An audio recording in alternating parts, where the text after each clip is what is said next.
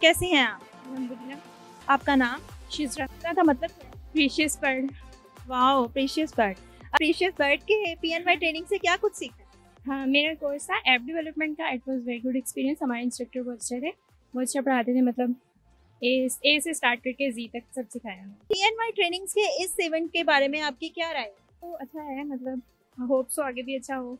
और मतलब ऐसे इवेंट करने चाहिए। स्टूडेंट्स को इनकरेज करना thank you so much thank you